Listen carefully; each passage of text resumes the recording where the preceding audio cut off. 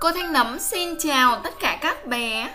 Ngày hôm nay chúng ta tiếp tục học năm từ vựng tiếng Anh cơ bản nhé. Nào, chúng ta cùng bắt đầu thôi. Quả bóng Tiếng Anh đọc là Ball Ball Ball. Ball. Ball. Ball. Quả chuối. Tiếng Anh đọc là banana. Banana.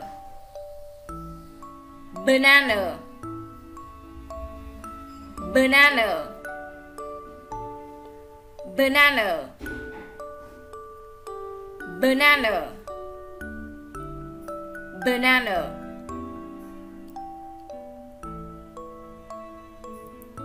Con gấu là bear. Bear. Bear bear. Bear. Bear.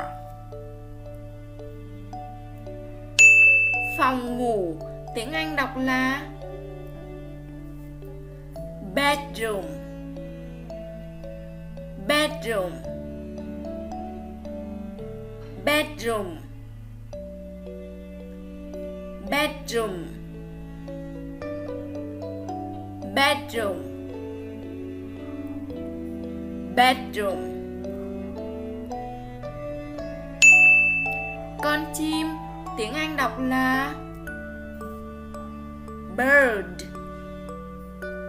Bird. Bird. Bird. Bird. Bird.